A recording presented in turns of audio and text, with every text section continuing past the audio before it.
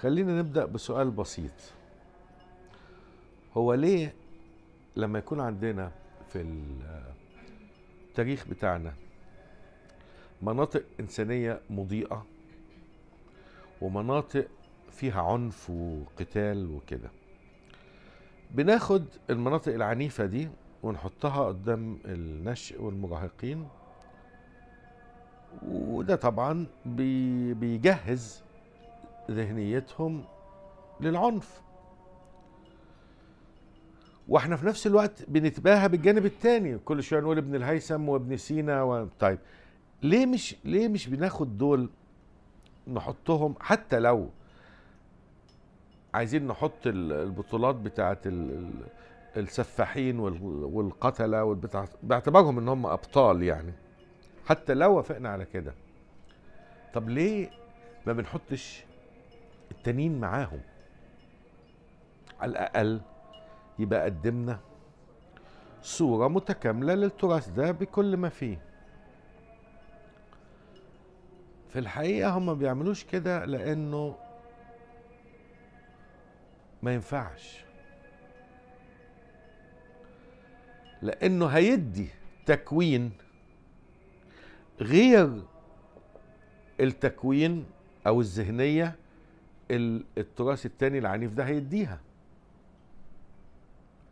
بمعنى أنا دلوقتي لما أجي أقول ولد في تاني إعدادي وأخلي ال- المقرر الأساسي عليه في القصة أو في العربي أو في البتاع هو آه، مثلا قصة حياة ابن الهيثم. فهقول له الوقائع بتاع حياته إن منها إنه علشان ما يحتاجش لحد وهو ما كانش بيقبل حاجة من الحكام وكده عشان يبقى يعني فكان كل سنة يكتب كتاب المجسطي. كتاب المجسطي ده اللي هو ال Megale Syntaxis ده كتاب الفلك الكبير عند اليونان يعني ومترجم للعربي. فكان يكتبه بخطه وهو معروف طبعا إنه يعني مهندس كبير وعالم وكده ويبيعه مثلا ما أعرفش بقد إيه 20 دينار أو حاجة كده. هم اللي بيصرفوا منهم طول السنة. لأن حياته كانت بسيطة. أنا لما بقول الولد أو البنت اللي في إعدادي ولا في ثانوي الكلام ده بخ بخليه يتشبث بالمعرفة. ويبدأ يستشف من واحد زي ابن الهيثم إزاي يكون حر ومستقل. ده مش هو الخطاب المطلوب. الخطاب العام المطلوب هو خطاب جعجعه وزعيق. يؤدي إلى خدمة منظومة سلطوية. لاحظوا إن في دايما منظومة سلطوية بيبقى فيها من يحكم ومن يعارض من يحكم كلاهما. ف انقسام الوطن العربي في النص النصف الثاني من القرن العشرين إلى بلاد ذات حكومة عسكرية حتى لو كان القائمين فيها مش جايين من خلفية عسكرية. وبلاد ملكية الاسم إنما قبلية المحتوى. حتى لو كان ملوكها مش منتمين لقبائل عريقة بدا الأمر إن في تنازع في اليمن مثلا حرب اليمن في ال- بتاعت عبد الناصر أو غيره. إنما هو في الحقيقة في الحقيقة كان في ميكانيزم داخلي للتفاعل بين هذه الإدارات اذا هناك تفاعلات بينية تبدو في الظاهر. كما لو كانت حالات تعارض انما هو في الحقيقة هو نوع من التماسك على النحو اللي زي ما قلنا من يومين وضحوا القانون بتاع المادية التاريخية قانون وحدة الأضداد وصراعها. إن كون جهات في المجتمع زي البروليتاريا وأصحاب رأس المال متضادين يعني ده ما يلغيش إن هما الاثنين بيكونوا النظام الرأسمالي. وبالتالي الدرس الأول في الإدراك العام إن أنت لما طلعت في الشوارع تقول آه، الشعب يريد إسقاط النظام إنك كنت تحدد يعني إيه النظام. مش تسيب مبارك فتروح لأيمن نور أو للاخوان المسلمين المرشد العام لا. ما هو ده النظام. بما فيه من تفاعلات داخلية بيمثل سيستم واحد. لأنه لو ما كانش فيه أو لو ما كانش المعارض ده متناغم على نحو ما مع السائد كان صفاه ما كانش بيبقى يبقى جزء من النظام. طيب نرجع ونقول إنه إجابة على السؤال إنه ما ينفعش يحط السفاحين والعلماء لأن ده هيعمل خطاب غير مطلوب. والعملة الرديئة بتطرد العملة الجيدة. لأن أنت عشان تبين له عظمة البيروني محتاج جهد كبير في تبسيط كلام البيروني في الأحجار الكريمة وفي حسابات الهند وفي قياسات الأماكن. وده عناوين كتبه بس محتاجة تركيز شوية. إنما لما تقول له وقاد الجيوش فاقتحم المش عارف إيه وانتصر وأنت بتكذب أصلا يعني. هنا ده سهل. السهل ده هيزيح المركب والمعقد. فبالتالي وبعيدا بقى عن هذا النظام قلنا خلينا نهتم بالمناطق اللي تستحق فعلا إن إحنا نفخر بيها في التراث. فجت بقى الجلسة الرمضانية دي علشان نتكلم عن ابن سينا. فهنتكلم في ابن سينا عن حاجتين القصيدة العينية في النفس والقصة الرمزية اللي هي حي ابن يقظان. بس الأول عشان نعرف إحنا فين. في الجغرافيا والتاريخ. عشان نشوف دلالة ابن سينا. الراجل ده ولد 370 هجرية. ومات 428 ولد في المنطقة الشرقية. أبوه أصلا من أفغانستان أفغاني. وهو اتولد في المناطق الشرقية من إيران دلوقتي. اللي هي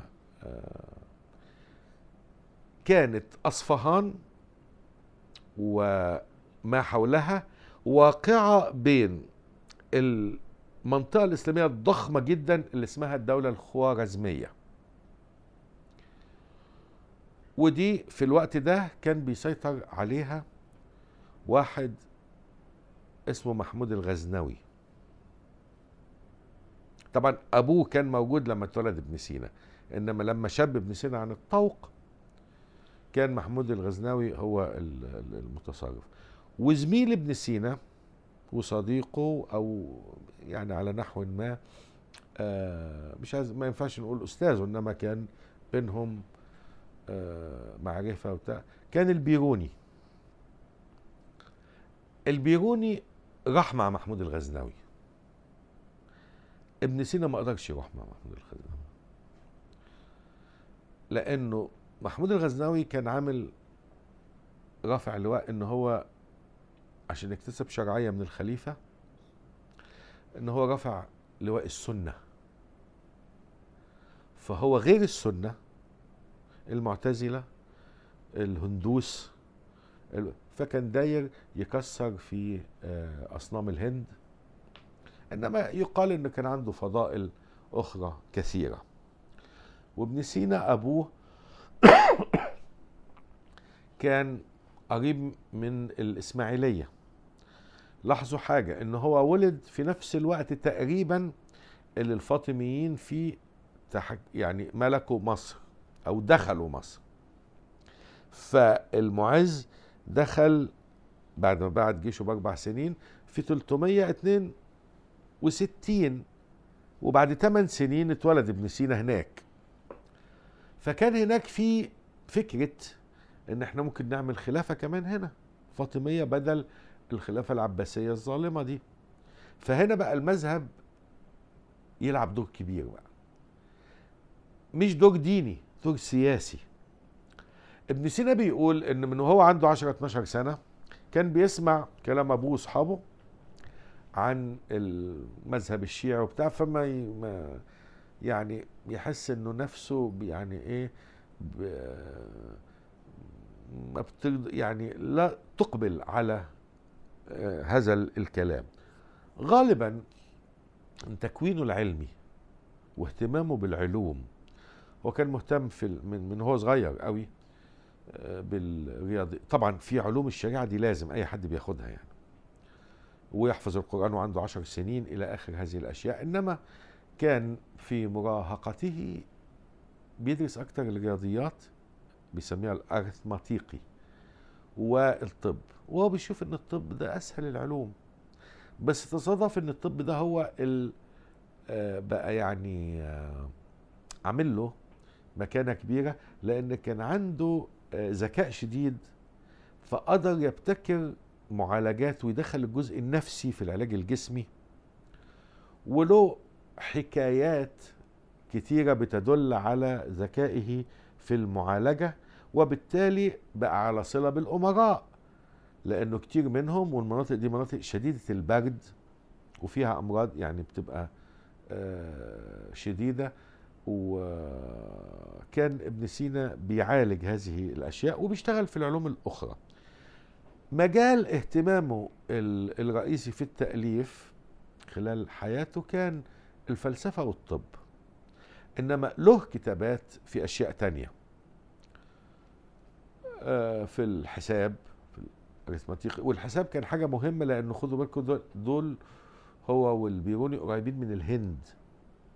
والهند كانت بارعة في العمليات الحسابية حتى في مخطوطات كتير يعني يقال في حساب الهند لأن كان عندهم طريقة اللي هي موجودة دلوقتي في العالم طريقة الكسور ال- العشرية.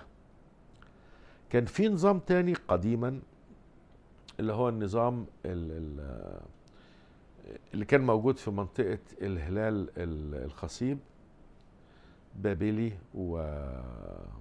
وفينيقي اللي هو نظام العدد الس- الستيني. إن الوحدة الأساسية مش مش العشرة الستة ومضاعفاتها. اللي منه مثلا إحنا دلوقتي بنقول إيه على الح... دستة. دستة يعني إيه؟ يعني ستة وستة. آه ون... ونخلي الشهر 30 يوم والسنة 360 دي حسابات فينيقية بابلية مش هندية.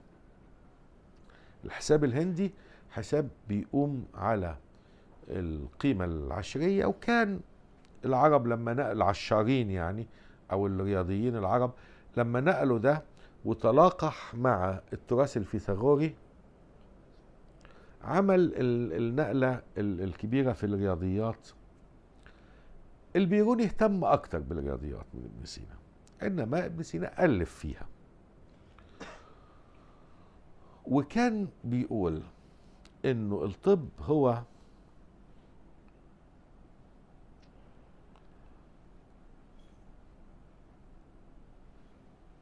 هداية أو ضبط إيقاع الجسم. والفلسفة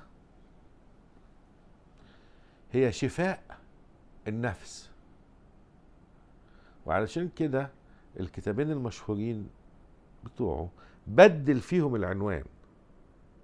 فبقى عندنا القانون في الطب والشفاء في الفلسفة والإلهيات. طب يعني المفروض الشفاء في الطب والقانون في إنما هو أراد أن يلمح إلى الصلة بين الأمرين. وكان بيقول إنه في فرق بين المذهب المشهور والمذهب المستور. يعني في كلام الناس المتعلمين يتلقوه.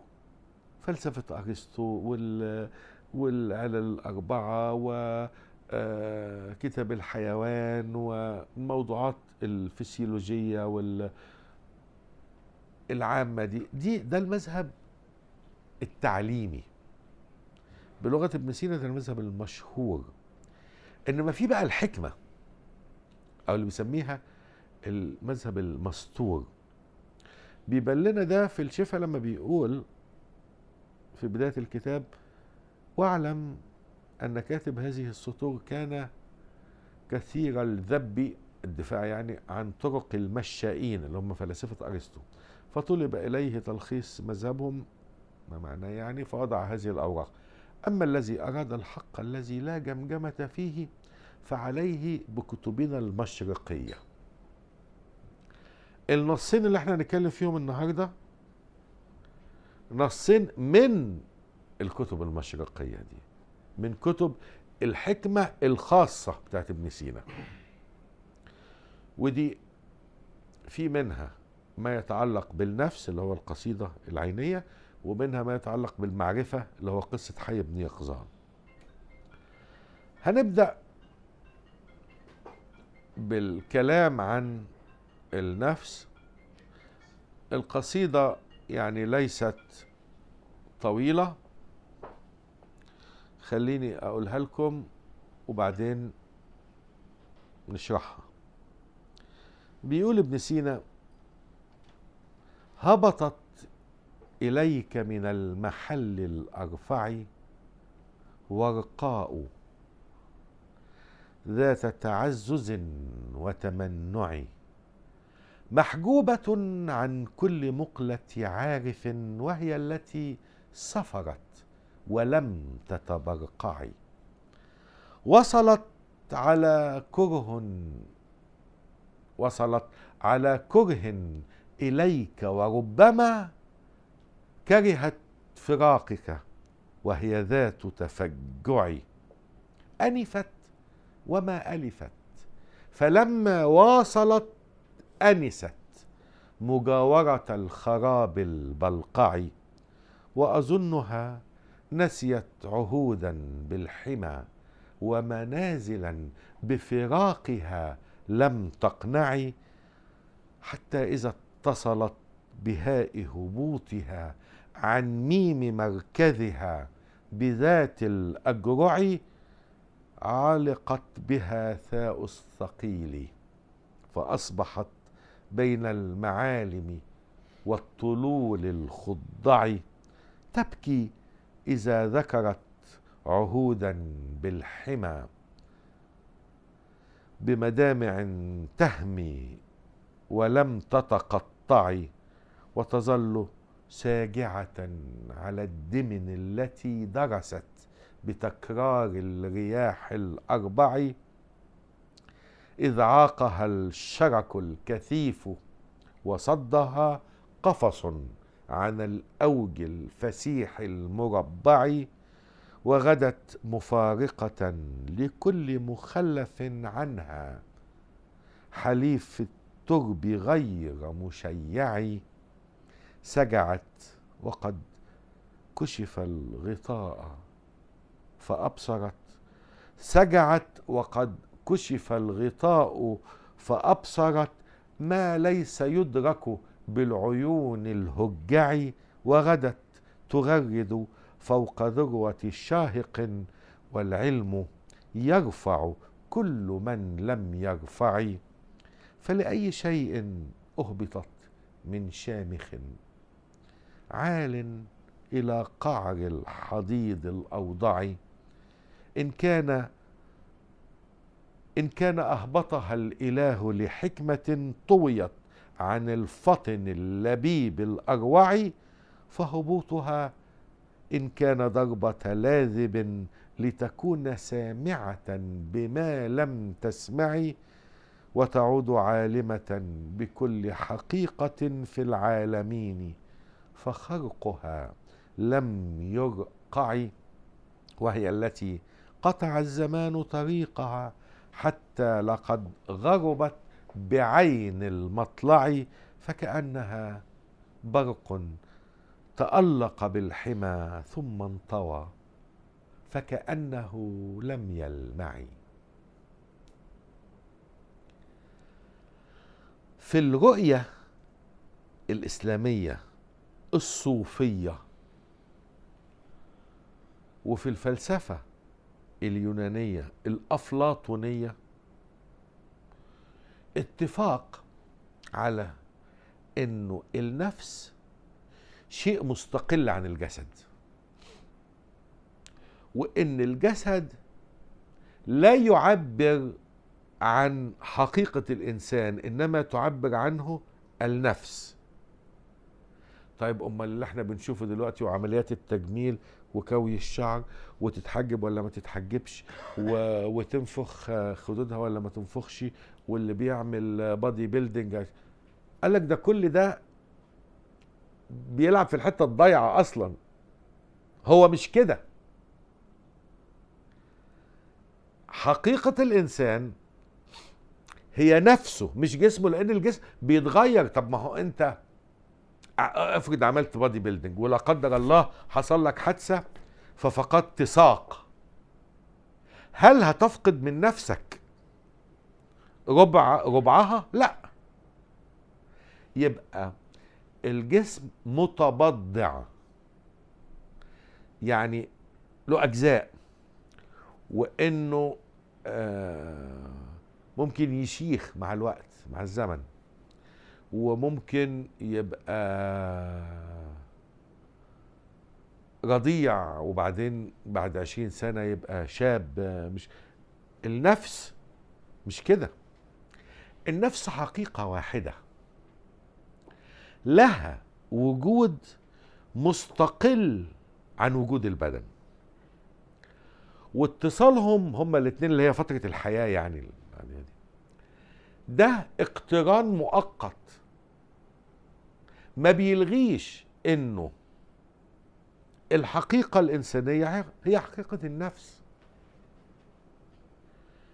من وجهة نظر إسلامية ووفقا للمذكور في القرآن فيما يسمى بآية الميثاق المشهورة إذ أخذ ربك من ظهور بني آدم ذريتهم ثم أشهدهم على نفسه ألست بربكم؟ قالوا بلى شهدنا.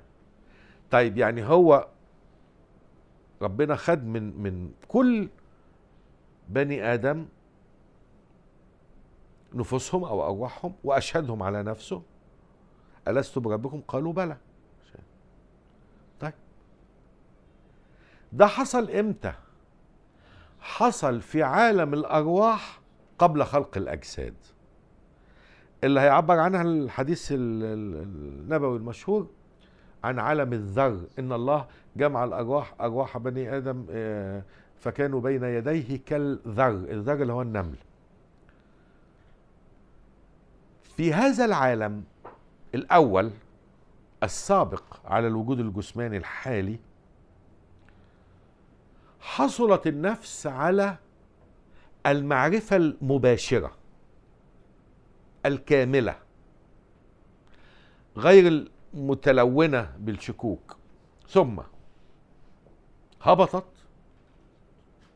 الجسم فنست. من ناحية أفلاطونية بقى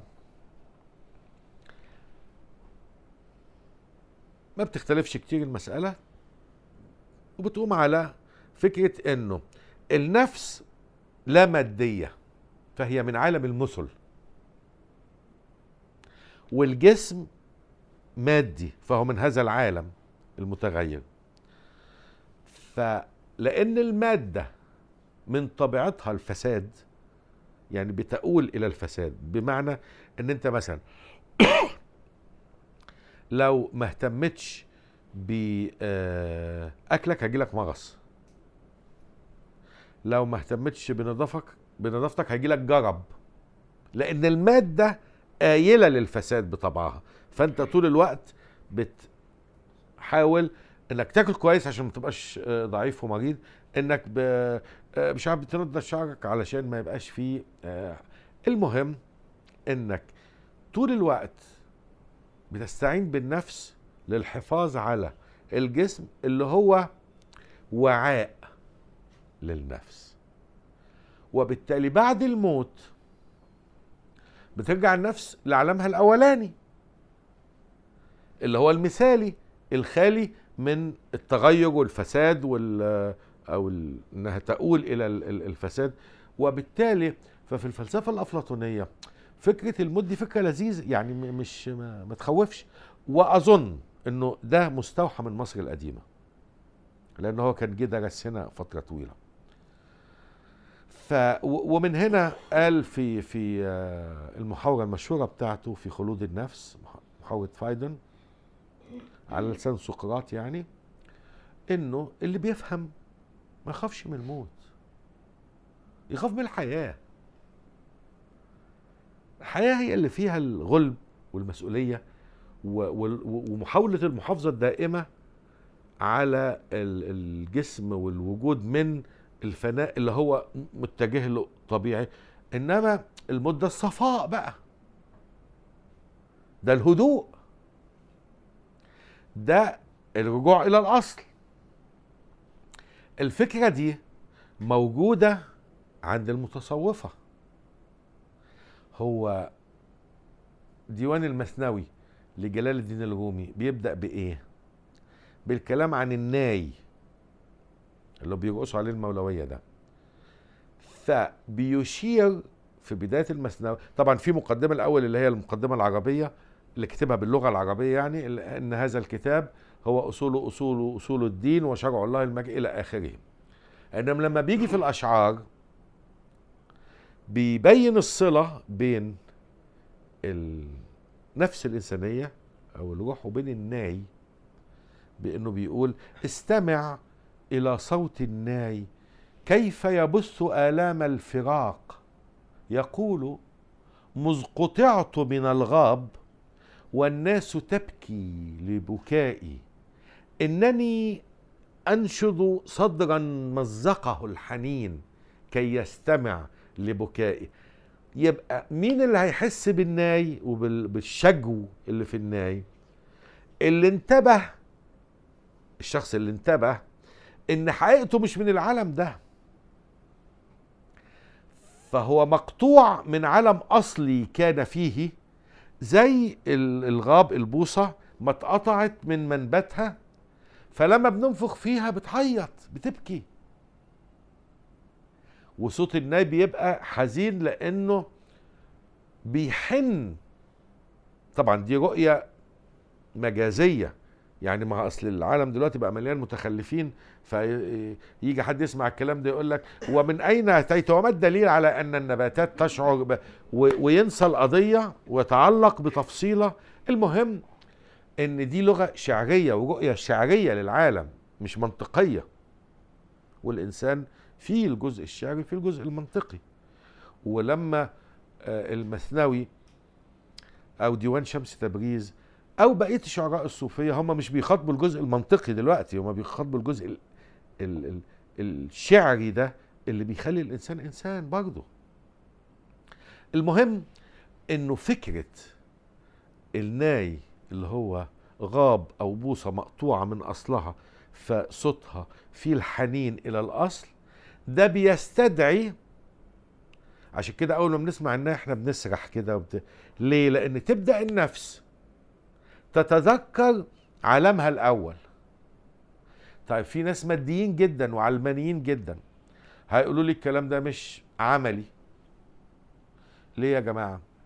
علشان ما فيش دليل عليه. نقول له طيب ليه لما بتخش مكان معين تحس إنك مستريح للمكان ده؟ أنت أول مرة تجيله أو تشوف حد فتنقبض أول ما تشوفه. أو العكس. يعني كما لو كان في حكم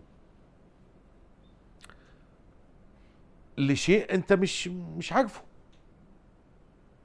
طيب ليه الحالات النفسية ال- العالية سواء ايجابا أو سلبا يعني في الاكتئاب مثلا وفي الحب ليه في الحالتين بيحصل نشاط عالي جدا في الجسم؟ يعني تلاقي المتحبين يفضلوا ماشيين على البحر هنا في الشتاء؟ أبقى شايفهم دول متحملين التلج ده إزاي؟ هم مش هنا هو هنا الجسم بقى بيفرز الأدرينالين المطلوب وبي إنما اللي بيحركهم مش الجسم ده النفس. وبالعكس في حالات الاكتئاب اللي مالية البلد دي بتلاقي الواحد ما هو قاعد كويس أهو. و آه السكر غلي بس هو عنده سكر يعني بس مكتئب. اذا هنا مش دي دي مش حاجة جسدية مش حاجة مادية. إنما حاجة نفسية وحتى الأطباء عندهم نوع من الأمراض بيسموه السايكوسوماتيك ديسيزز دي اللي هي النفس فيها بتضغط على الجسم. وفي المقابل بقى وايجابا في حالات الحماس والحب والعشق الحقيقي يعني بتعلى بالجسم فالواحد يبقى مستغرب نفسه. اللي هو نفس الشخص. يبقى في الفلسفة الأفلاطونية وفي الإسلام الصوفي اللي هو الراقي يعني أرقى شكل من أشكال الإسلام اللي هو مفيهوش بقى العنف والذبح ويلا عايز أحكم والكلام ال هناك اتفاق على استقلالية وخلود النفس عن الجسم. ابن سينا في هذه القصيدة بيعكس هذه الفلسفة. هو لو قال الكلمتين اللي أنا قلتهم دول في وقته هيموتوه. طبعا لا كان في لسه جلال الدين الرومي ولا كان في مش عارف إيه. فمن غير بقى قانون ازدراء أديان ولا إنكار معلوم من التلفزيون بالضرورة ولا الكلام ده هيقولوا له إيه ده أنت جبت الكلام ده منين؟ أنت مش عارف إيه. أقم عليه الحجة الشرعية. يقول لهم قال الله تعالى يقولوا قال تعالى طب تعالى بقى عشان هو قال تعالى في حتة تانية كذا كذا فاقتلوه يلا اقتلوا الراجل ده. زي ما عملوا مع ناس كتير. لا سقراط موته كان لسبب آخر ملوش علاقة بالدين. لا لا لا لا سقراط اتهم لا ما انت لو لو طلعنا من المواضيع كده مش هنخلص. هقول لك دي بسرعة. سقراط اتهم بثلاث تهم. الثلاث تهم تهم شكلية. إنما الإشكال الرئيسي ما كانش في في عريضه الاتهام. الإشكال الرئيسي إن السوفسطائيين دول ناس محترمين وكل حاجة يعني وبيقوموا بتدريس الناس ال- اللغة وال- والأساليب والب... بس بياخدوا فلوس. وسقراط على الفيسبوك ببلاش. مفيش فيسبوك طبعا. إنما في الشوارع وفي الحواري وي- يلاقي العيال قاعدين يلعبوا مش عارف إيه يقول لهم بقول لكم إيه يا شباب؟ أنا بفكر في حاجة كده تقدروا تساعدوني؟ حاجة إيه يا سقراط؟ أنا عايز أعرف يعني إيه عدالة؟ يقولوا عدالة يعني اللي وإحنا بنلعب اللي يجيب جون يتحسب. الله يعني اللي ما يجيبش اللي يجيب جون وما يتحسبش ده يبقى ظلم؟ آه يبقى ظلم. طيب يعني هل ويبدأ بقى يرتب مجموعة أسئلة من خلالها يولد المعرفة والشغف بالمعرفة في النفوس. وكان بيقول إن أمه كانت بتشتغل قابلة داية يعني. فقال أنا خدت شغلانة أمي. أمي كانت بتولد الستات.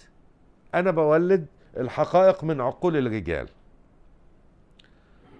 فالسوفسطائيين اتضايقوا منه. فقدموا فيه شكوى للمجلس. وكانت أثينا في الوقت ده ديمقراطية. ديمقراطية مباشرة. وكان المجلس 450 واحد. ال- الحكم يبقى مباشر حكم الشعب للشعب. ديموس كراتيس. فاتهموه. اولا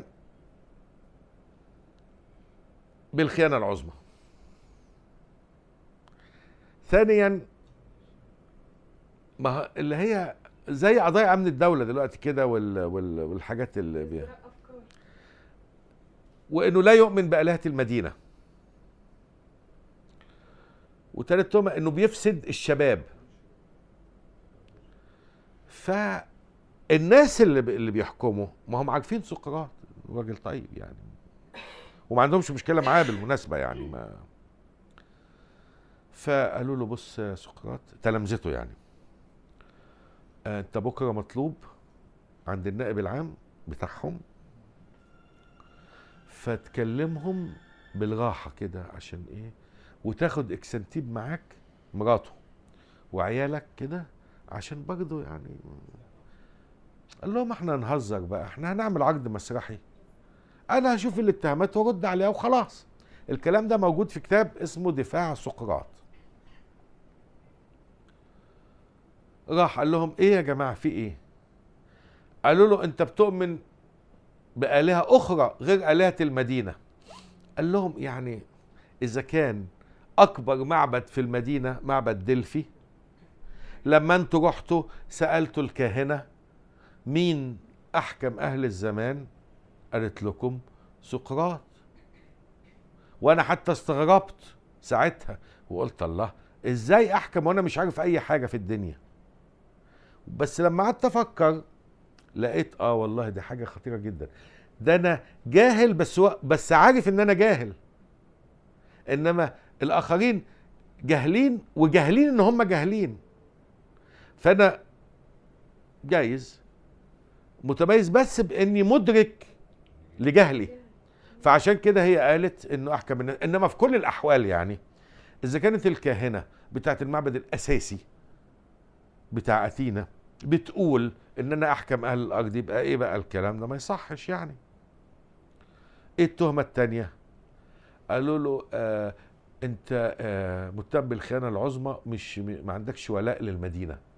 قال لهم حرام عليكم. هو كان كبر شوية في السن.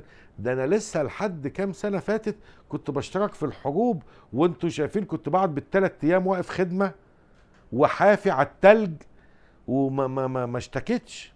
واشتركت معاكم في الحاجات دي. لما كنت شباب أقدر أعمل الكلام ده دفاعا عن مدينتي.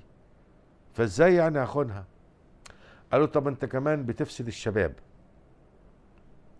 إزاي بفسد الشباب؟ قالوا بتقعد تلعب في دماغهم كده. هم بيلعبوا كورة تقول لهم العدالة. ف... ف... أنت مالك ومال الشباب؟ قال لهم أنا عايز أثينا دي تبقى أحسن حتة في الدنيا. وده مش هيحصل إلا لما عقول الناس تتحرك. فأنا بحرك عقول الشباب أنا مش بفسدها. قال له طب بص. سابوا بقى الراجل اللي بيكتب المحضر. قال له بص يا سقراط قول ان أنا مش هعمل كده تاني وخلاص وإحنا هنمشيك.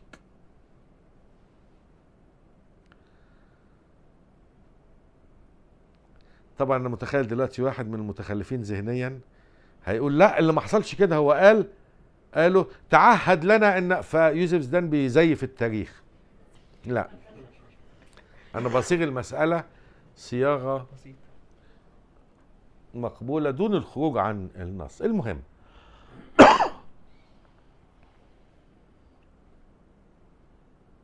طلبوا إنه يتعهد بعدم إثارة الجدل. وخلاص. قال لهم لا ما أقدرش. ليه يا سقراط؟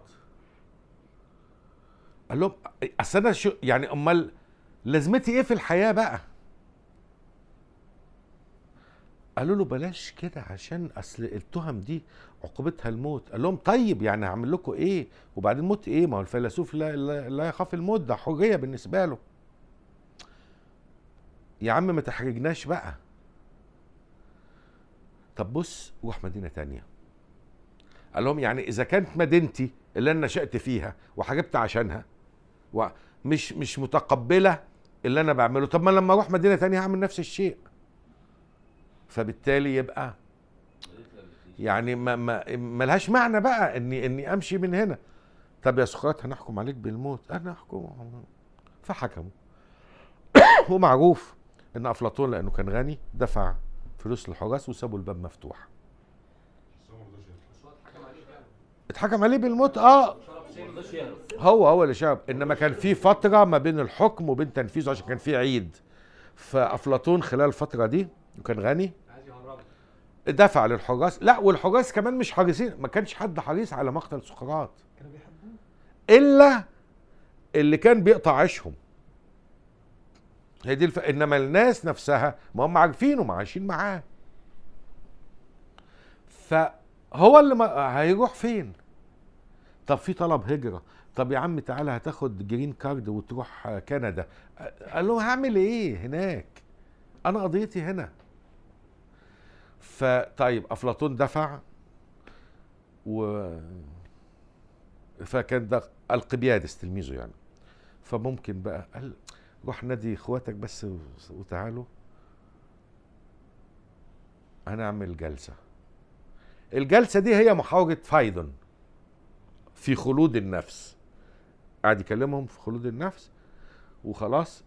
وضح فكرة إنه للنفس وجود مستقل عن وجود البدن وهو الوجود الأصلي المحدد للصفة الإنسانية. ثم تجرع كأس الشكران نوع من السم. وبدأ بقى السقعية تيجي من رجله كده وهو ما يعني ما مروح. وخلاص عمل اللي عليه عمل اللي عليه ومشي. ده آه آه سقراط بس ما عدتش تقاطعني تاني. كنا بنقول إيه يا أستاذ محمد بقى؟ كنا بنتكلم عن النفس عند ابن سينا. لا هو ساعة ما قال لي آه عند سقراط. آه، اختلاف آه، اختلاف إن رؤية النفس بين سقراط وبين آه، حضرتك كنت بتقول إن ابن سينا لو قال الكلام ده اتحكم عليه اتحكم عليه بالموت. آه. فهو عكسها. فابن سينا قال بدل ما أخلي ده في المذهب المشهور المذهب المشهور لابن سينا مذهب ارسطي ليه؟ لأن في العلوم اللي هي الطب والطبيعيات والحيوان والأهوية والأماكن والبلدان الطقس و... فهنا آه يعني مفيش مشكلة في ال... في الكلام ده. إنما النزعة الأفلاطونية دي والصوفية إحنا قلنا إن هو طلع من فكرة المذاهب. قال يعني أنا لا ليا في سنة ولا ليا في شيعة فسيبوني سيبوني في الحكمة لأن ممكن تكون هي دي الخلاص. عشان كده كان مهتم بالحكمة المشرقية. ووضع فلسفته دي فلسفته الحقيقية دي في مجموعة من المؤلفات اللي منهم القصيدة اللي إحنا شفناها وهنشرحها آه، شيئا فشيئا. أول كلمة بيبدأ بيها ابن سينا القصيدة كلمة بالغة الدلالة على القضية الرئيسية أو الموضوع ال- الأساسي اللي هتطرحه ال- ال- القصيدة. وعلى فكرة ابن سينا له قصايد أخرى غير دي. له شعر تعليمي آه، ده في الطب يعني علشان يخلي الطبيب يفتكر كان ده تقليد قديم يعني اسمها الأراجيز العلمية. الأراجيز بي بيجي عالم كبير يحط أصول أو قواعد العلم بتاعه في منظومة من بحر الرجز لأنه خفيف يعني في ال في ال في الإلقاء والتذكر. وفي بقى أراجيز في الرياضيات وأراجيز في النحو. وفي ابن سينا له أرجوزتين في الطب. آه، واحدة المشهورة قوي اللي هي ال- الأرجوزة الألفية في الطب وواحدة تانية 300 وشوية بيت. آه، دي اللي بيقول فيه في أولها يقول راجي عفو ربه ابن سينا ولم يزل بالله مستعينا. يا سائلي عن صحة الأجساد اسمع صحيح الطب بالإسناد. ده طبعا لما بنقولها كده إنما هو ال ال الولاد لما كانوا يحفظوا بقى ال- الأراجيز العلمية دي في البتاع كانوا- يقول راجع عفو ربي ابن سينا. لا يقول راجع عفو ربه ابن سينا ولم يزل بالله مستعينا يا سائلي عن صحة الأجساد اسمعت صحيح الطب بالإسناد. فده يبقى أسهل لتذكرها لما بيجي يستحضر قاعدة. من ال- القواعد. وعندنا طبعا ألفية ابن مالك في النحو وحاجات كتير. إنما هنا لا ده شعر حر مش تعليمي. آه، لا مش شعر حر بالمعنى المعاصر يعني. آه، غرضه حر مش مش لغرض تعليمي. فبالتالي بيبقى ممتلئ بالدلالات والإشارية فيه والمجاز بيبقى عالي جدا. واختيار المفردات بيبقى بالغ الدقة. كما يجب أن يكون الحال في الشعر. فاختياره لبداية القصيدة وللكلمة الأولى هبطت. هذا يدل في حد ذاته على أن الإنسان الذي هو جسم ونفس جسم وروح أن الجسم هو السفلي لأن هو يتحدث عن النفس فيقول هبطت فهي الأعلى. ويؤكد هذا المعنى بقوله من المحل الأرفعي المحل الأرفعي ده وفقا لفلسفة أفلاطون هيبقى عالم المثل اللي هو عالم ما فيهوش مادة خالص في أبعاد رياضية وهندسية للكون وللأشياء وخلاص. أو من المنظور الإسلامي هو عالم الأرواح قبل خلق الأجساد اللي هو في الميثاق. أو في الحديث النبوي الميثاق. وفي كل أو في كلتا الحالتين هو مكان أعلى من العالم الأرضي. ليه الفلاسفة ينظروا دايما للعالم الأرضي نظرة دنيا؟ يقول لك ما هي اسمها الدنيا. لأنه اللي بيتحكم في حركتها هو المادة والمادة أردأ من الروح. المادة هي ال- اللي بتطمس الروح لأنه أنت عايز تفهم آه عايز تفكر عايز تشعر بمعنى للكون والوجود. دي أغراض نفسية يقابلها إن انت لازم تجدح عشان تجيب آه، فلوس ليك ولعيالك لو كان عندك عيال يعني. فالمادة دي أو الجزء الجسماني اللي في الإنسان بيعوق الجزء الروحي. الفلاسفة يقولوا إيه؟ طيب قلل. عشان كده قلنا ابن الهيثم كان عايش إزاي؟ يكتب الماجستي. على فكرة في نسخة من بخط ابن الهيثم موجودة في بطرسبرج في روسيا. هو كان كل سنة بيعمل واحدة وفي منهم واحدة وبعض اللي بيشتغلوا في تاريخ الرياضيات بيقولوا دي أهم مخطوطة في العالم يعني لأنه ابن الهيثم وكتاب الماجستي عايزين إيه بعد كده يعني؟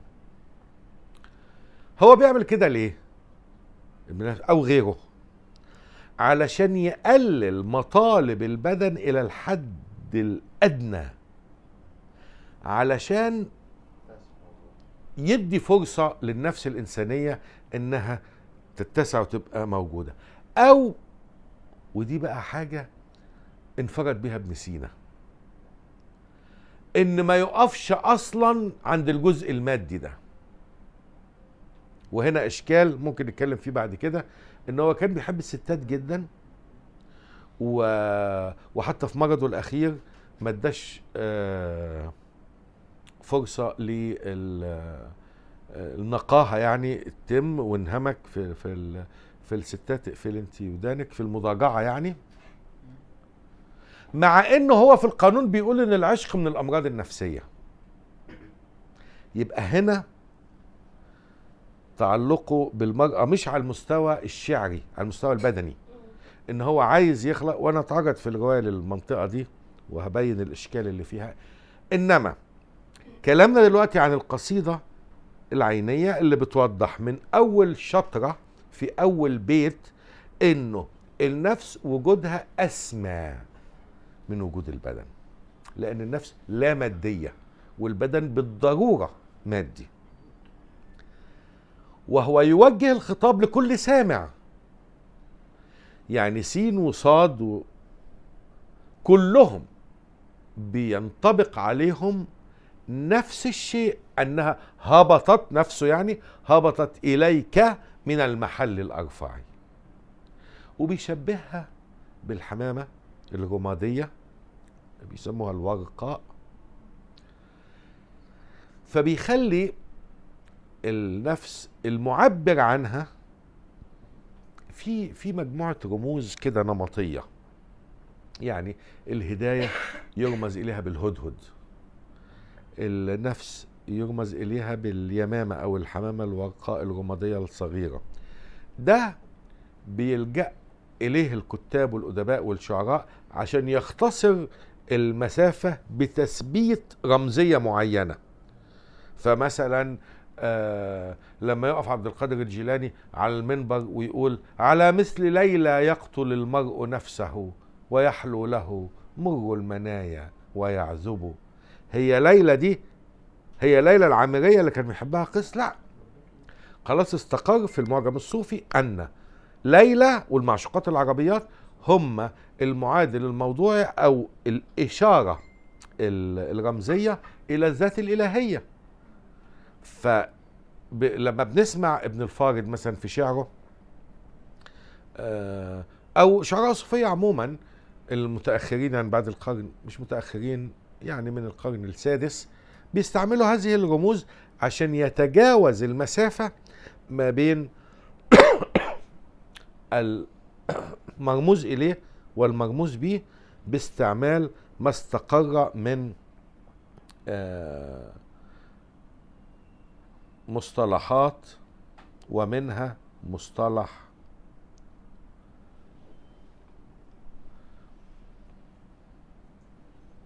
النفس الإنسانية المرموز إليه بالحمامة الرمادية الورقاء فقد هبطت إليك من المحل الأرفع ورقاء ذات تعزز وتمنع. عشان كده أول فعل للإنسان عند الميلاد هو الصراخ. لأنه النفس مش عايزة يعني تعافي الجسم ده. هي من عالم أعلى وهو من العالم الأدنى. فهبطت إليك من المحل الأرفع ورقاء ذات تعزز وتمنع محجوبة عن كل مقلة عارف. يعني أنا لما ببص لمحمد دلوقتي أنا مش شايف نفسه. فنفسه محجوبة. فحتى أعرف العرفاء لا يستطيع أن يرى نفوس الناس. هو بيشوف أفعالهم. عشان كده عمالين نقول لهم انسوا حكاية إنكم تحاسبوا الناس وفقا للإيمان لأن الإيمان شيء لا لا ينضبط ولا يقاس. أنت بتحاسب الناس على أفعالها. فهي هذه النفس التي هبطت إليك من المحل الأرفع وهي تشبه الورقاء ذات تعزز وتمنع هي محجوبة عن كل مقلة عين يعني عارف وهي التي سفرت ولم تتبرقعي. مع إن هي واضحة جدا. يعني ما هو إنصات محمد ده هو نفسه. و... والهيصة اللي بيقعد يعملها على الفيسبوك ومش عارف إيه ما هي نفسه. إن هو عايز يضحك وعايز يفرفش. وبعدين لما يقعد يختنق بقى ويحتدم كده وي... ما هي دي نفسه برضه. فمع أنها بتظهر بشكل جلي وواضح في كل تجل... سلوكه سلوكياته إلا إنه لا يوجد شيء ملموس أقدر أمسكه وأقول دي نفسه. مش كده؟ فهي محجوبة عن كل مقلة عارف مع إنها سفرت. سافرة يعني ظاهرة. ولم تتبرقعي ودي برضو حاجة في اللغة ناخد بالنا منها. هما دايما يقولوا إيه؟ المحجبة والسافرة. لا مفيش حاجة كده. دي اختراع من بتاعت السنوات الأخيرة. إنه اللفظتين اللي قدام بعض. منقبة أو اللي يقول لك منتقبة أو مبرقعة وسافرة. والسفور يعني الظهور لا يعطي أي معنى أخلاقي. آه فيجي واحد يقول لك إيه؟ وهي والعياذ بالله سافرة. ما لهوش معنى الكلام ده. يعني إيه والعياذ بالله؟ ما هو الله هو اللي خلقها كده يا أخي. وبعدين السفور لا ما هو هنا كان بيغيظهم. السفور ده كان ضد. يبقى سفرت ولم تتبرقعي يبقى في البرقع وفي السفور وصلت على كره إليك. يعني هي ما اختارتش. وكان بالنسبة لها يعني أفضل إنها ما تجيش. يعني تخش ليه في في الحاجات المادية دي وفي الأمراض وفي الوجع وفي الآلام وفي بتاع. كل ده بيسببه الجسم وال... والكدح والحبس وال... وال... وال... والتحرك وكل ما يعيشه ال... الإنسان و99% منه هو تحكم الجسم في النفس أو البدن في الروح. فلو كان الاختيار لها لما هبطت فهي أهبطت. وصلت على عشان كده هيجي في الآخر هبطت دي هيقول فلاي شيء أهبطت. اجبرت أهبطت يعني ما كانش اختيارها. وصلت على كره إليك وربما وده الغريب بقى كرهت فراقك فراقك وهي ذات تفجع. لما بتقعد النفس مع الجسم فترة طويلة. فيقعد بقى الولد يبقى عنده آه مثلا 20 سنة فيبص إيه ده؟ أنا جميل قوي. والبنت الله إيه ده؟ ده أنا عينيا ساحرة. فتبدأ النفس نفسه ونفسها تتعلق بالجزء المادي وتشوف له يعني جماليات معينة. وبعدين أنا خسيت خمسة كيلو فبقيت أنا مانيكان. آه، أو أو العكس انشغال النفس بالبدن بيعمل نوع من الألفة اللي بتخليه أحيانا قال ربما مش دايما يجي في آخر العمر مش عايز يموت مش عايز يسيب البدن. وتتفجع نفسه من آه آه الفجيعة يعني آه علشان هيسيب الدنيا. طب بس ما هو انت اللي بكيت. و... وانت اللي مش انت اللي مش فاهم. ده ده قعدك في خضم وقلب العمليات المادية دي. نساك نفسك. عشان كده مثلا تلاقي إيه واحد غني جدا. فمعاه مش عارف 100 مليار مثلا. والشغل والبتاع والصفقة ضاعت مني. يا عمي ده لا انت ولا عيالك ولا احفادك هتعرفوا تصرفوا الفلوس مالك لا لا لا الشغل. لا الصفقة هتروح. صفقة إيه ما تروح؟ لأنه دوام التعلق والارتباط بين النفس والبدن بين اللا م- محسوس وبين الحسي جعل الأحكام تضطرب. فما بقاش عارف يعني هم الزهاد بتوع الهند دول لما بيجي سايب العالم كله هو- مجنون؟ لا مش مجنون. هو أدرك إنه ده مش ده الحقيقة. فبيترك هذا اللي هو ال... ويقعد بقى يعيش على ورق الشجر و... وناس تعيش على ال- الندى اللي بينزل من ال- القصص دي. الزهاد بقى المبالغين. طبعا إحنا ما بنقولش بده. إنما بنضرب بيه مثل على إنه الحكمة أحيانا تؤدي إلى هجران كامل للماديات. وغالبا اللي حركوا تاريخ الإنسانية كانوا ناس من النوع ده. مش ال- النمط المادي المسعور المفجوع على ال- المادة. حتى لو بدا غير ذلك. يعني مايكل أنجلو كان آه وبتاع وحقي وبتاع و overtime ومش بس في النهاية ده منظر. وإلا يقعد 11 سنة نايم على ظهره عشان يرسم البتاعة دي ده. ف ف أو إنه ابن سينا ما كان وزير. فهو وزير قاعد يألف. في الشفا والقانون. اتحبس. بيألف. حي بن يقظان وكتاب القولنج وبتاع. يطلع من ال- الحبس. يكمل ال- الشفاء والقانون.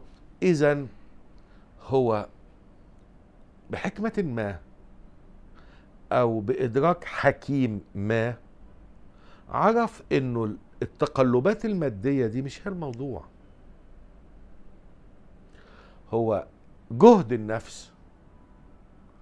والتسامي بتاعها والمعرفة اللي هي لصيقة الصلة وثيقة الصلة بالنفس هي الموضوع. فعشان كده ما توقفش أبدا. نرجع للنص. إن إنها وصلت على كره إليك وربما كرهت فراقك وهي ذات تفجع أنفت وما ألفت. يعني في الأول قرفت من الجسم لأنه مادي ما اتعودتش عليه أنفت ليه؟ لأنها ما كانتش قعدت معاه فتألفت. أنفت وما ألفت فلما واصلت أنست مجاورة الخراب البلقعي يعني الخراب الشديد. ووصف الجسم بأنه خراب. أيوة ما هو المادي عشان بيقول للفساد.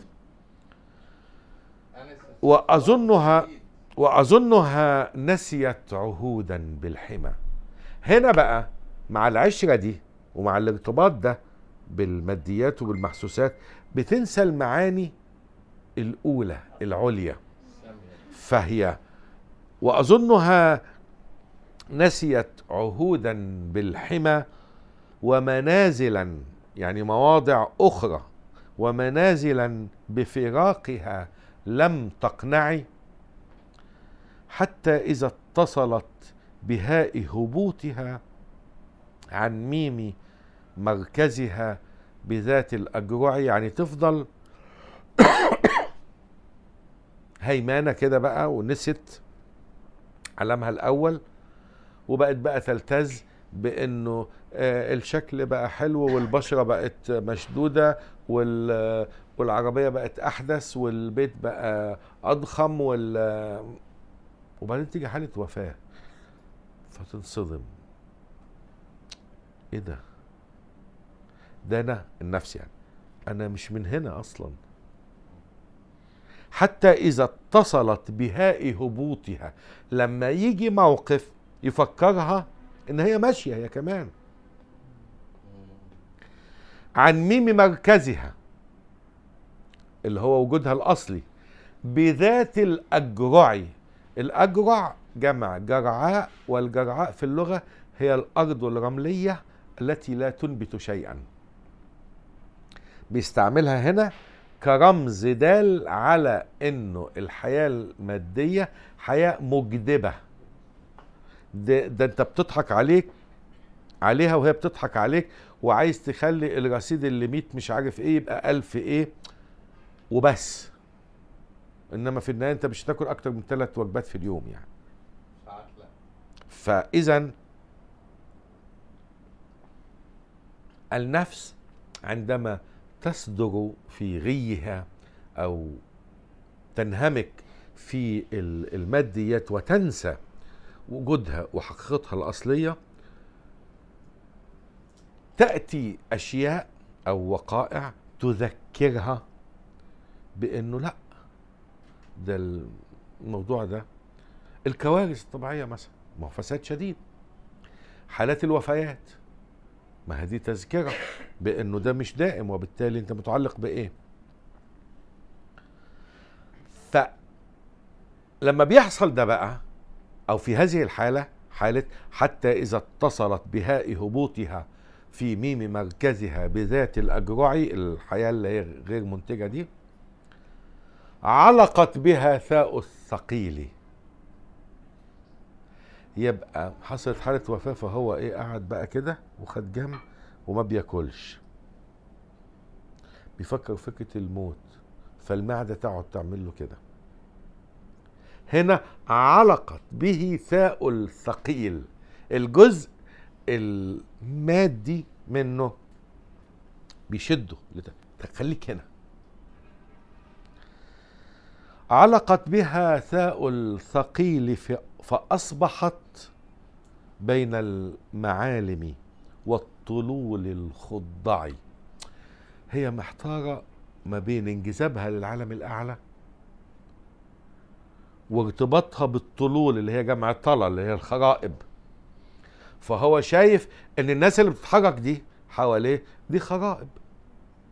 ليه؟ لأنه ما هو طبيب. فهو شايف بقى إنه آه، ده هنا ده واكل كذا فهيجي له كذا بعد كده في بطنه وإنه امعائه دي بتعمل كذا وإن الكبد دلوقتي بيفرز مش عارف إيه. فهو شايف ميكانيزم الجسم الآيل بطبعه إلى الفساد. طبعا ده كمان قبل ما الطب الحديث يكتشف على إيد بيشا إن الظاهرة الباثولوجية بتعمل جنبا إلى جنب مع الظاهرة الفسيولوجية وإنه طبيعة الجسم داخل طبيعته الأيلولة للفساد وإن أي جسم حي مثلا فيه خلايا سرطانية لازم. موجودة وبيقاومها وبعدين تيجي تاني ويقاومها. لحد ما بتيجي في فترة إمتى بنقول عليه مريض سرطان؟ مش لأن بقى عنده سرطان لأ لأنه حصل نوع من التركيز في إلى آخره. شاهد الكلام هنا إيه؟ إنه هذه النفس أصبحت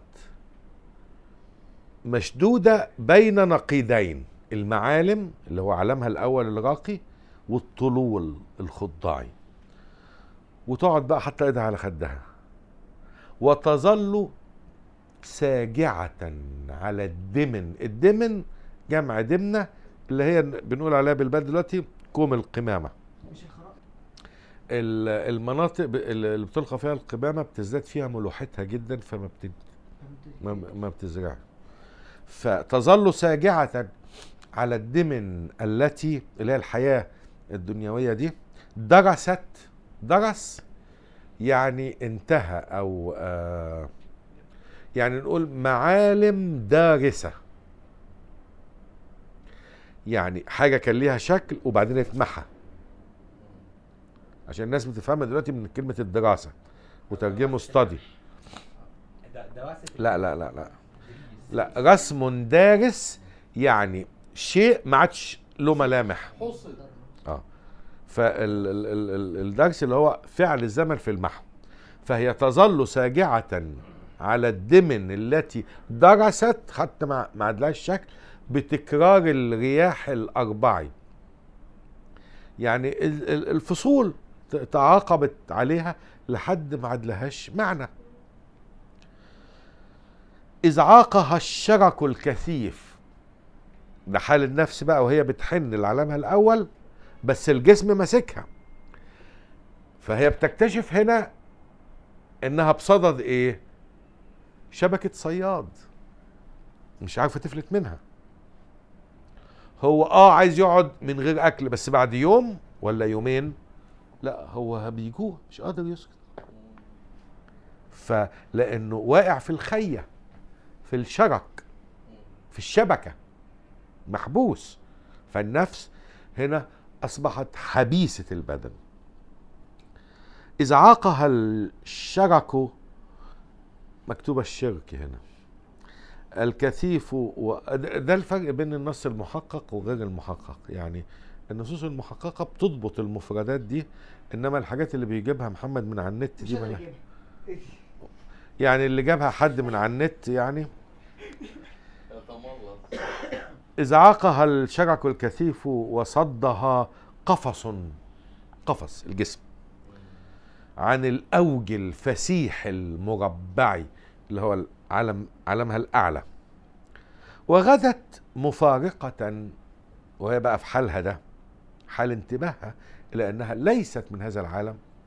حتى وإن أنست إليه فهي مش منه وإن لها لها عالم آخر أعلى ولكن هي محبوسة هنا. وغدت مفارقة لكل مخلف عنها حليف الترب غير مشيع. حلو التعبير. إنه الناس دي اللي عايشة دي دي ميتة. بس ما اتدفنتش. باعتبار ما سيكون. هو حليف للتراب. فهو هو حليف للتراب لأنه من من البتاع بس هو لم يشيع إليه. فهنا جماليات ال... ويجي بقى حد يقول لك أصل ابن سينا ما كانش عربي وكانت لغته العربية ركيكه مش عارف إذا كان ده ركيك أمال يبقى إيه البليغ يعني؟ ولا تعبيراته في القانون؟ المهم ما علينا. آه سجعت أول ما تلاقي نفسها بقى في الحالة دي تهبط بقى كده. سجعت. الحمام لما بيسجع عارفين الصوت ده ده سجع الحمام. سجعت وقد كشف الغطاء فأبصرت. ما ليس يدرك بالعيون الهجعي. عشان كده أنت تيجي مثلا لواحد إيه كبر بقى في السن وعاقل قوي وتقول له إزاي؟ يقول لك معلش معلش. إيه؟ هو هنا نفسه أدركت أشياء. التاني اللي لسه منهمك في الحياة ده مش قادر يفهمها. فلما يجي مثلا تلاقي الأب أو الجد بيوصي ابنه أو حفيده يا ابني حافظ على بيتك. لا دي آه، قلت لها هتطبخ لي آه، بامية طبخت لي آه، ملوخية. يقول له حافظ على بيتك حافظ على بيتك. هو هنا بينطق بإيه؟ بحكمة النفس اللي هي هدأت قليلا يعني من كتر ما سجعت فأصبحت بتشوف أو بتدرك إن الحكاية أكبر من الخناقة اللي بين الابن والحفيد ده مثلا وبين مراته أو العكس يعني. فليه الكبير بينصح الصغير؟ لأن هو قرب من النهاية فالجسم اللي هو الجزء المادي المشوش على الحقائق يعني بي- بيضعف تأثيره يعني رويدا والنفس بتقترب من موطنها الأصلي فبتستقوى أكتر فهنا بتبقى المعرفة أعلى والإدراك. وغدت تغرد فوق ذروة شاهق والعلم يرفع كل من لم يرفع هنا بقى ما هو في حكمة دي عامة في البشر وفي علم ده خاص بالمتعلمين والعلماء. ويختلفوا لأنك ممكن تلاقي واحد فلاح عمره ما طلع من الغيط بتاعه إنما راجل حكيم. ليه؟ لأن نفسه شفت فأدركت الأشياء. ولما يقول لك على حاجة هتطلع صح مش لأنه عنده خبرة كبيرة في الحياة علشان عنده إدراك عميق بالإيقاعات الفعلية للكون. ما بيغرقش في التفاصيل. هو بيشوف البنية. بيشوف البنية يعني هندسة. مين اللي يدرك الهندسة؟ حاجة من عالم هندسي. النفس الإنسانية. وغدت تغرد فوق ذروه شاهق والعلم ير- يرفع. كل من لم يرفع فلأي شيء. هو بيسأل بقى. هنا ابن سينا. يعني ليه؟ فلأي شيء أهبطت من شامخ. شامخ يعني مكان عالي مش شامخ بتاع اليومين دول. فلأي شيء أهبطت من شامخ عال اللي هو عالم الأرواح أو النفوس إلى قعر الحضيض الأوضعي وده بيفكرنا بمطلع قصيدة مشهورة قوي لابن الشبل البغدادي. برضه بيسأل نفس السؤال بس مش عن النفس عن الوجود كله يعني. يقول بربك أيها الفلك المضار أقصد ذا المسير أم اضطرار؟ يعني هو ال- ال- الحركة دي هي كده وخلاص ولا دي مترتبة؟ طبعا ابن الشبل ده نفد. ما حد ما حدش لحق لأن هو منتصف القرن الخامس وكان في بغداد فالدنيا يعني منورة شوية. إنما كان ممكن في نفس الوقت ده في الأندلس يضيع في القصيدة دي. فلأي شيء أهبطت من شامخ عال إلى قعر الحضيض الأوضع إن كان أهبطها الإله لحكمة طويت. عن الفطن اللبيب الأروع فهبوطها إن كان ضربة لازب لاز ضربة لازب يعني شيء لا مفر منه. لتكون سامعة بما لم تسمعي هنا بيعلل بيقول الله طب ما صحيح هي مدركة للمعاني السامية. هتعرف الوحشة منين؟ طب تاخد بقى الرحلة دي. وهي في النهاية لحظة العمر ده. ما ده انت وانت بس عايش بتهيألك إن الدنيا مش السنة الجاية والب... بس هو في النهاية انت لو بصيت له كده ده لحظة. وإلا الناس اللي ماتت دي قبل كده والأجيال دي كلها ما... إنما كان ضروري إن هو تنزل النفس فتعرف حاجة مش موجودة عندها. تعرف ال... يعني إيه خسة ويعني إيه ندالة ويعني إيه.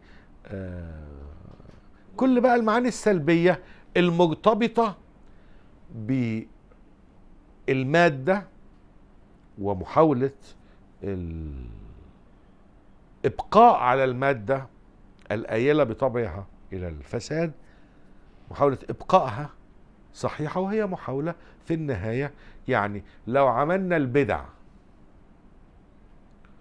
ويعني وقعد بقى شخص ياكل أكل صحي ويلعب رياضة كل يوم ولا مش عارف الايه طب ماشي ولما يبقى 80 سنة آه يبقى أحسن يعني من غيره. آه وبعدين 85 سنة طب 90 سنة. ما أنت ما فيش فايدة.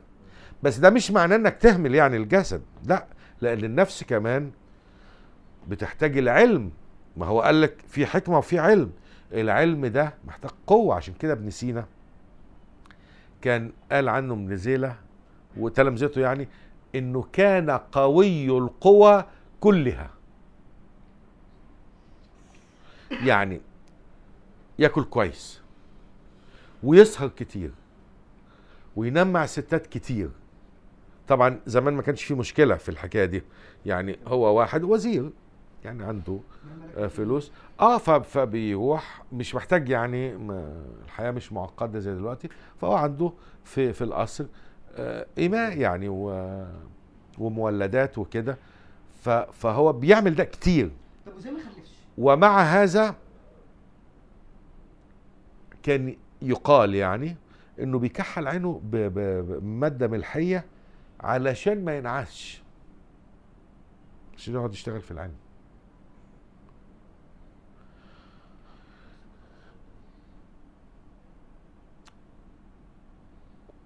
فهبوطها إن كان ضربة لازم لتكون سامعة بما لم تسمعي وتعود عالمة بكل حقيقة. الحقائق بقى اللي هي عكس الحقائق اللي كانت عارفاها. هي عارفة السمو فتعرف يعني إيه وضاعة ده مش هتلاقيه إلا في الدنيا. آه تعرف ال- الإيثار. فتعرف مع ال ال ال ال حالة الامتزاج بالبدن يعني إيه أنانية. إلى آخره. وتعود عالمة بكل حقيقة في العالمين فخرقها لم يرقع. يعني هي أصلا مش من العالم ده. ونزولها من فوق الدقيقتين دول ما أثرش في حاجة. خرقها لم يرقعي يعني خلي الفجوة دي فجوة. اللي هي فترة حياة الإنسان يعني. إنما قبل كده وبعد كده هو الدائم. عشان كده الفلاسفة بيتكلموا عن خلود النفس.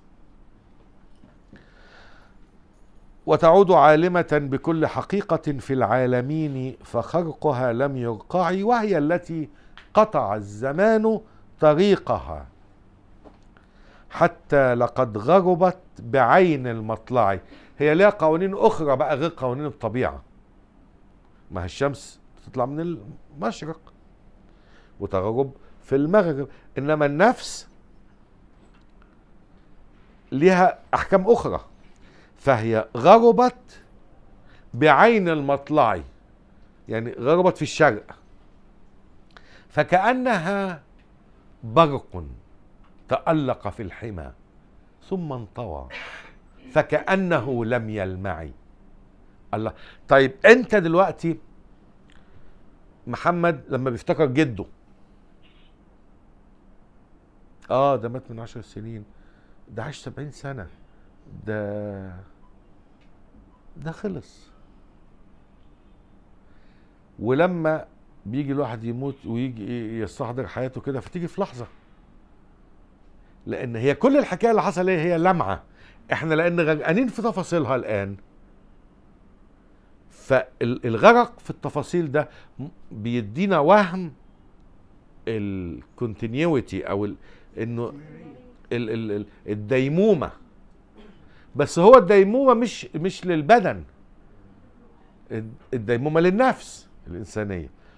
ومرورها بقى على اللحظة دي بتاعت الوجود الحسي ده مجرد فلاشة كده برق فكأنها برق تألق بالحمى ثم انطوى فكأنه لم يلمعي.